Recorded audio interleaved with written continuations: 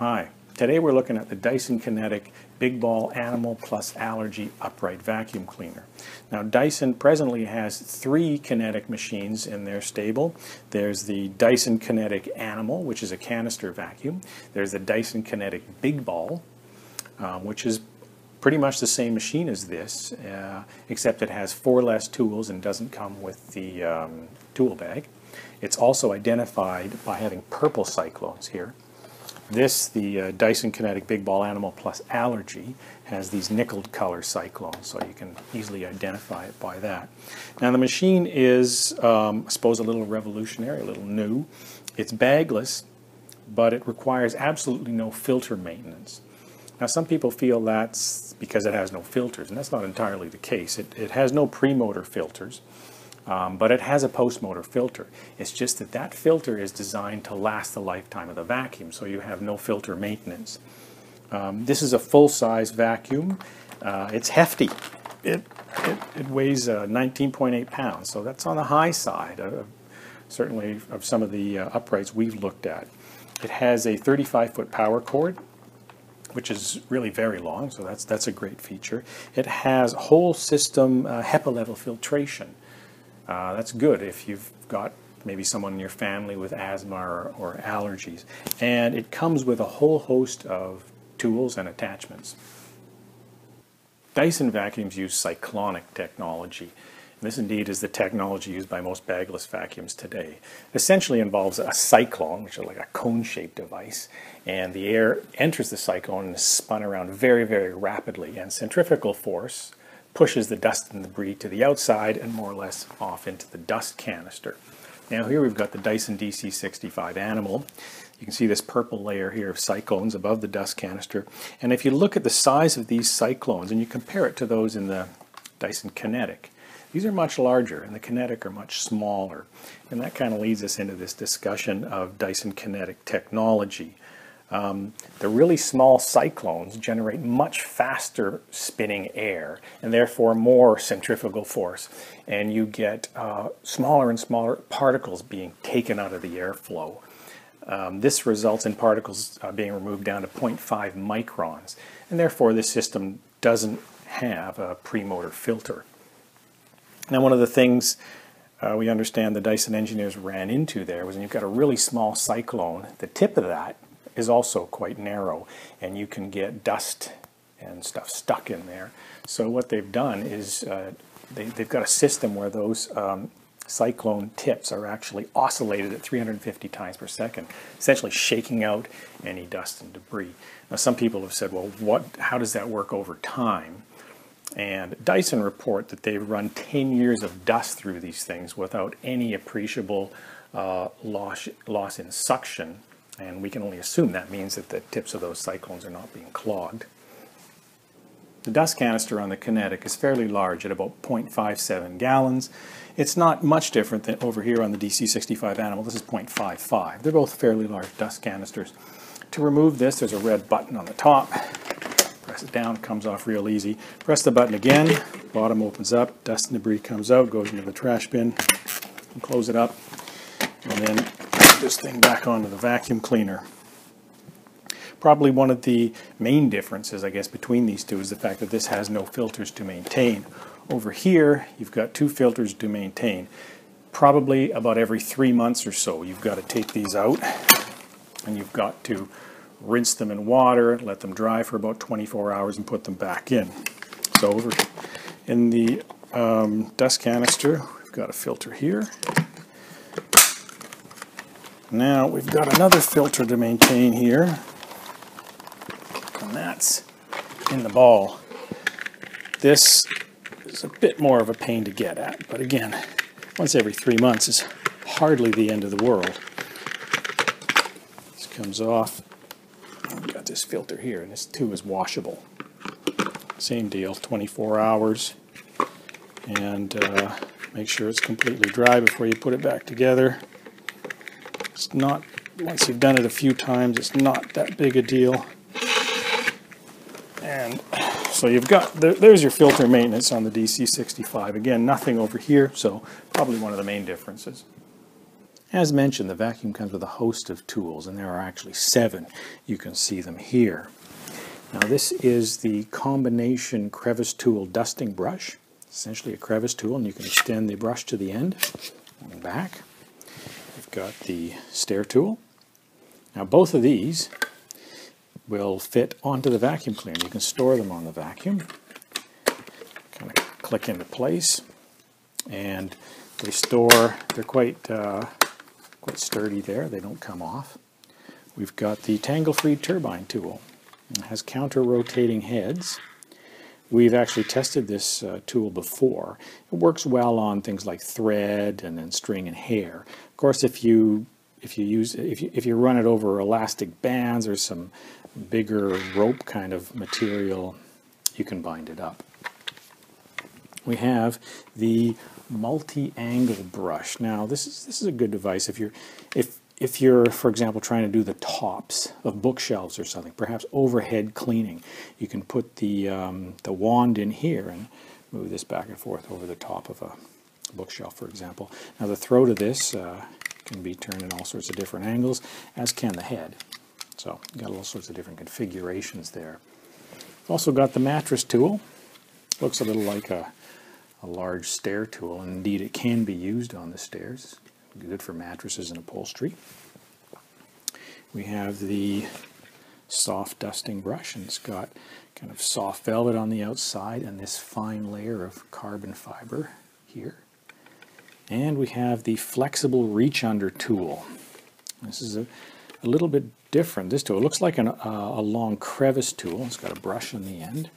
You, you can take the brush off you can put on this interesting looking device, which is like uh, kind of a dusting brush itself. Pops onto the end. Now when you you can extend this tool out, and this, this is a little bit unique. This is a piece of rubber, and it allows the tool to flex.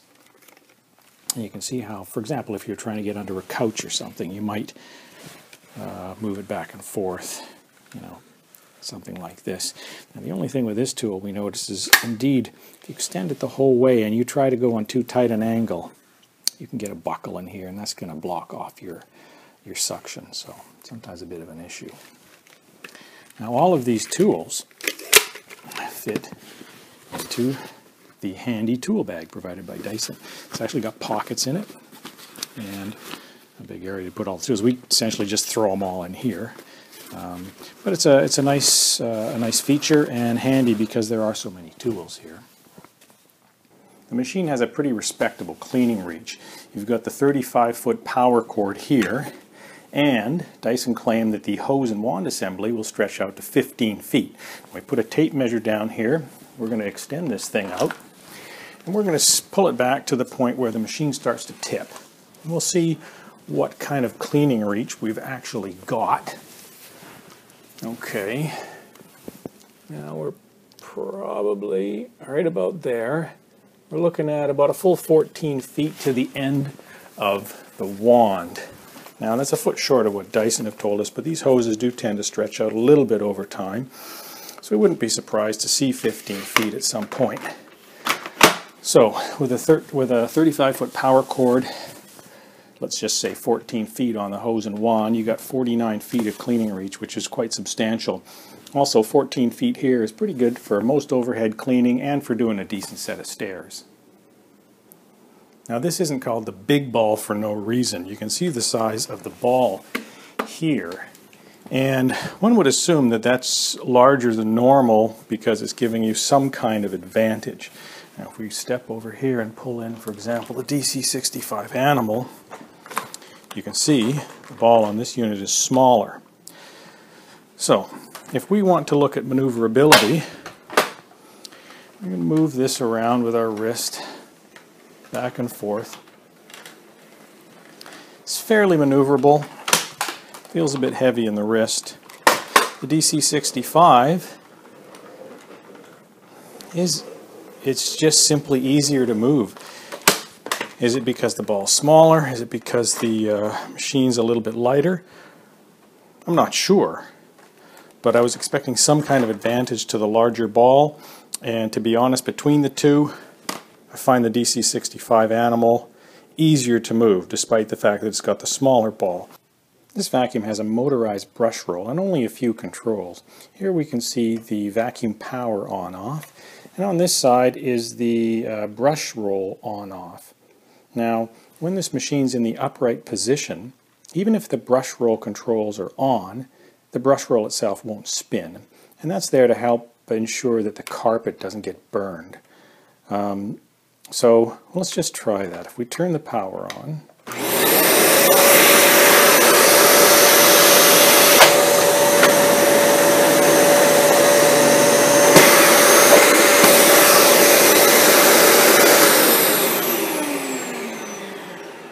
Now you can see as soon as we tilted the machine back, the brush roll engaged. But when we put it back in the upright position, it turned off automatically. Now we've taken the nozzle off of the Cinetic to show you this active base plate. And that's this accordion-like device you can see here. Um, this allows the whole underside of the nozzle to essentially go up and down. Now this is great when you're moving from carpet to bare floors, uh, for example, or from bare floors to carpet. You don't need to manually adjust the height. This does it automatically. This also doesn't allow a suction to escape around the perimeter of the nozzle, and it helps focus the suction on the floor where you want it. I've just compared the noise level of the Dyson DC65 Animal and the Cinetic Big Ball Animal Plus Allergy. We're not going to do that here, it's just too much fiddling back and forth, but I have the results, and we've used a, uh, an audiometer here that measures decibels. So the DC65 in idle mode was 75.3 decibels. The Cinetic in idle mode was 73.6. And you can actually hear the difference. It sounds like they're quite similar, but I'll turn them both on in idle mode and you'll probably notice the difference. With the brush bar on, the DC65 Animal was 79.2. With the brush bar on, the Cinetic was 76.2. So the Cinetic is a quieter machine. Now let's just check the, uh, the idle mode and see if you can notice the difference.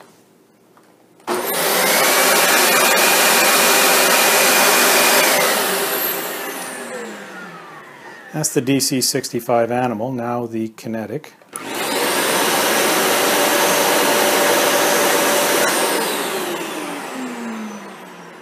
For us here, the, uh, it's, it's fairly obvious the Cinetic is, is indeed quieter.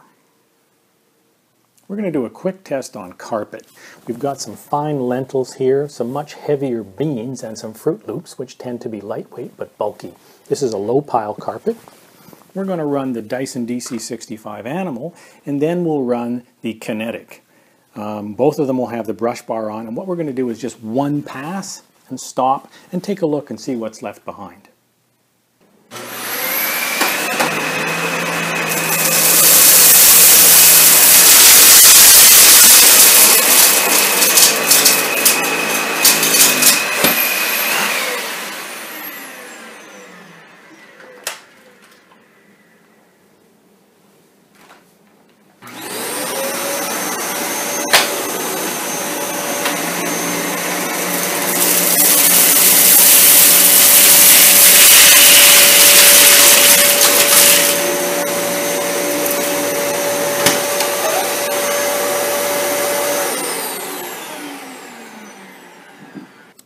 There's a debris field left over from both vacuums. I must say I'm a little surprised at that. I expected the DC65 to perform a little better. You can see that the Cinetic had a tendency to push some of the finer material forward and it wasn't quite getting under the, um, the nozzle, but overall it did okay. We decided to run the one-pass carpet test again to see if the results were repeatable.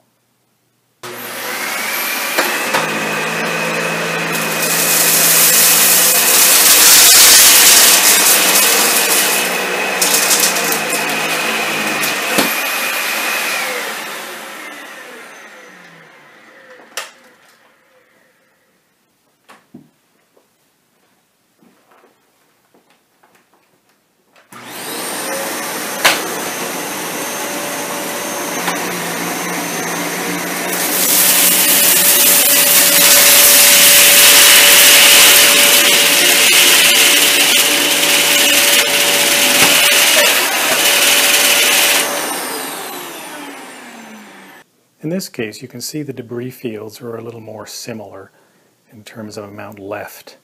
Although on the Cinetic side, on the right, um, we still get that uh, amount of material pushed forward.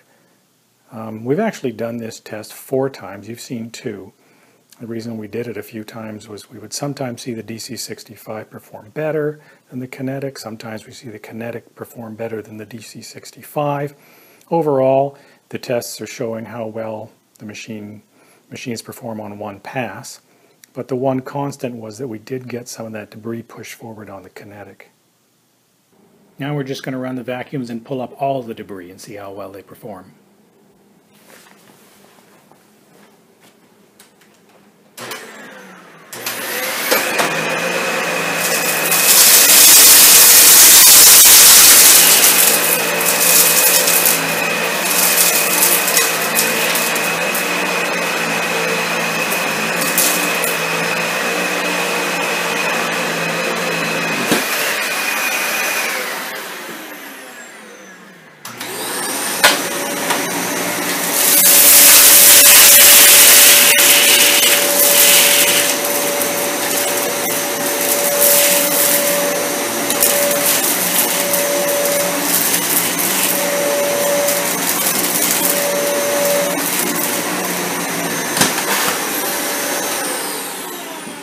As you can see, both machines perform really well here. Of course, if you go back and forth a number of times, it's quite a bit different than doing one pass. Um, they picked up virtually everything, no problems at all. We're going to run the vacuum on bare floors now. Now we've got some of the, the lentils, we've got some of the heavier, some heavier green peas here. We've ground up um, some of the Froot Loops, so there's a fine powder into the cracks just to make sure that it could pick up into the cracks. The um, Cinetic, the Dyson uh, Big Ball Cinetic, has 180 air watts of suction. Now, the uh, DC65 Anima has 245, so it's quite a bit more. We'll be running this with the brush bar off, so it'll be just relying on its suction, although we don't expect it to have any issues with this, but let's just see what happens.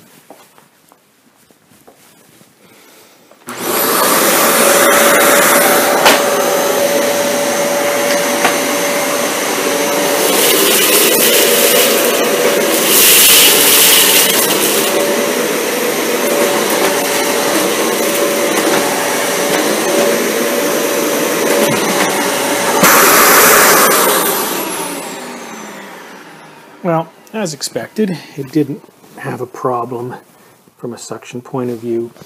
We still see a couple of these guys showing up. This um, nozzle is still pushing the larger debris forward. Now we've ground in some pet hair. This is fairly long white dog hair. And we've ground it into what is more a um, medium pile carpet. We've, you know, we've jumped up and down on this and ground it into the best of our ability for both machines. And we're going to run the DC65 Animal, again against the Cinetic, see how they perform on the, on the pet hair.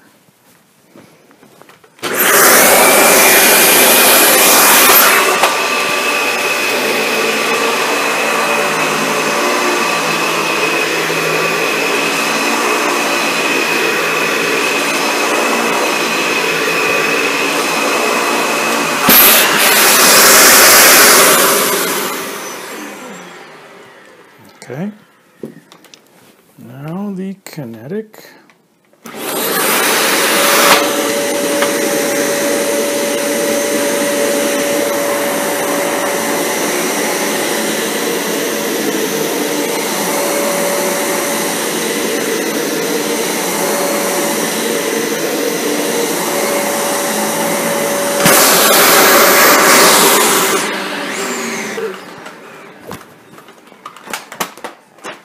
Well, from the look of things, both pretty similar.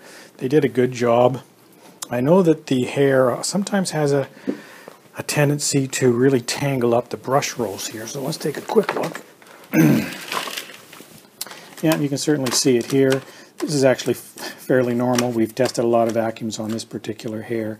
Now the brush roll here, I think, comes out, and it's probably also, this is quite easy to pull off as well.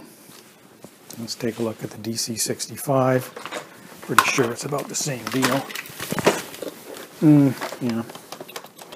Clogged up as well. Not not too bad, but same kind of same kind of thing. Now another test we often do is to check the ability of the machine to clean up tight against the baseboards. You know, if a vacuum won't do that, you may end up having to get out a crevice tool and the hose or maybe um, the hose and a hand tool of some kind, and that can be a real pain. So let's check out and see how the Cinetic does.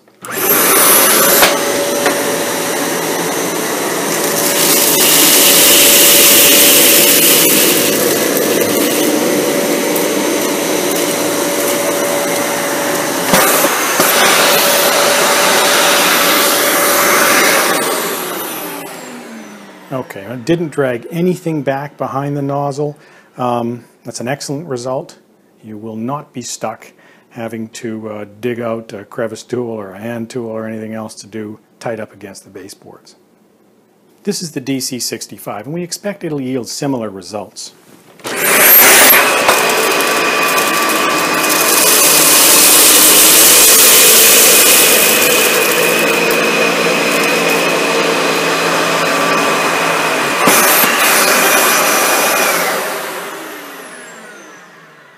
And the answer to that is yes, yes, it does.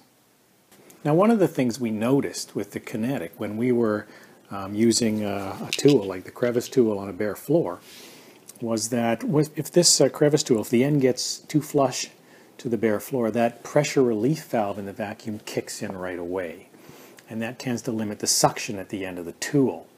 Now that's there in case you've got a clog or something so it doesn't burn out the motor. But it seems to kick in a little early. Over here on the DC65, um, indeed it has a PRV as well, pressure relief valve, but that kicks in later and it allows more suction to get to the end of the tool. Um, so we'll try to illustrate that. We're going to turn one vacuum on then the other.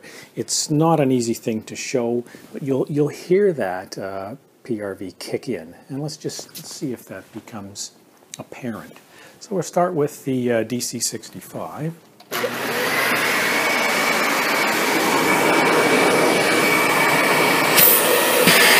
Yeah.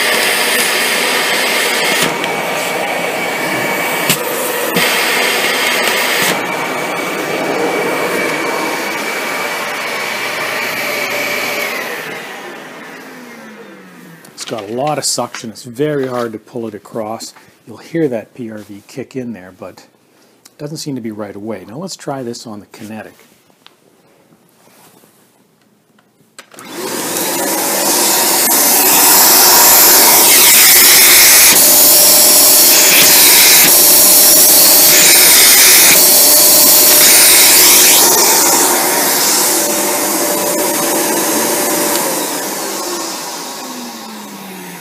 Pretty much as soon as I touch the paper to the end of this, that, that PRV kicks in.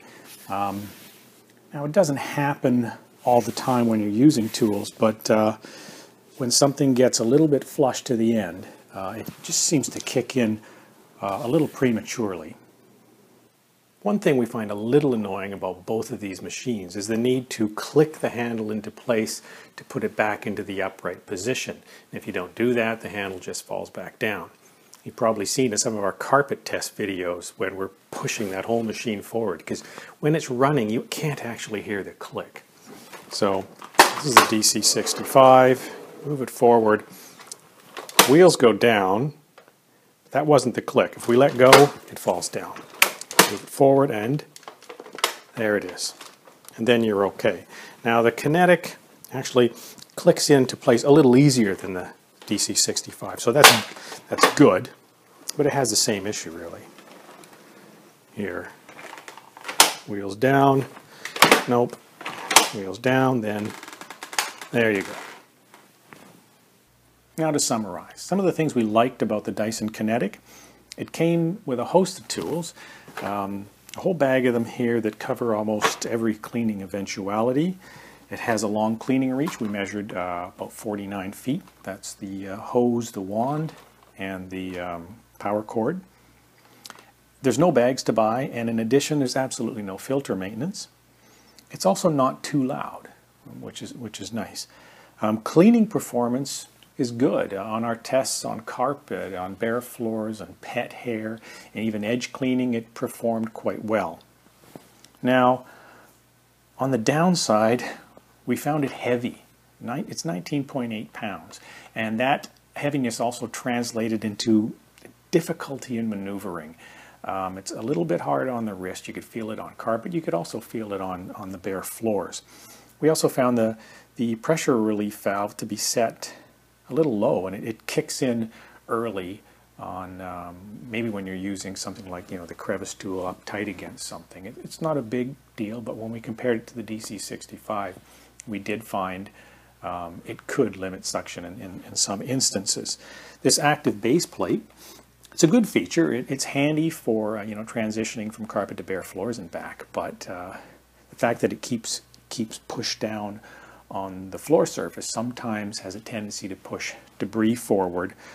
Um, getting debris out of the dust canister. Now, we, did, we didn't actually run into this, but we've read a number of people, a number of consumers complaining about this. It does get very tight up in here, um, and it's hard, it's almost actually impossible to get your fingers into there, and stuff can get clogged up there. And a number of people um, have complained about that. Um, well, the other thing is clicking it into upright mode. Um, both the DC65 and this have that kind of annoyance where you can't, you know, you don't quite know whether it's going to sit upright or not um, until it clicks in. And the other thing, it's expensive. On on Dyson's website, we I think the MSRP on this is, is still 699, although you can find it uh, less at uh, some online retailers. Now, we did some comparisons against the DC65 animal, and you know, in our cleaning tests, both machines fared pretty similarly. Now we know the DC65 animal has 245 air watts compared to this with 180, and that's a 36% difference. It's quite conceivable if we had ramped up the clean test with heavier and heavier debris, um, we would have seen that extra suction come into play. But the facts are, with the kind of stuff we were looking at, and perhaps with a lot of household debris, we didn't really see a difference between the two.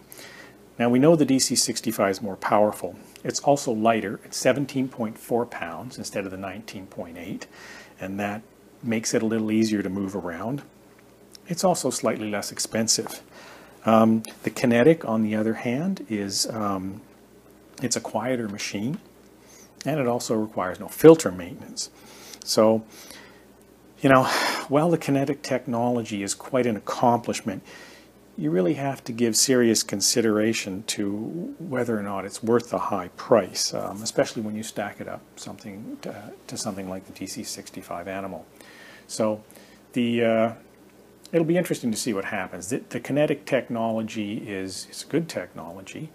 Um, whether or not Dyson is going to move in the direction of refining this technology, you know, what, what, we've got right now is really the first set of models. Whether they're going to take those and refine them and refine them into something better and better, or whether this whole idea is, is going to disappear, we don't know. I guess time will tell.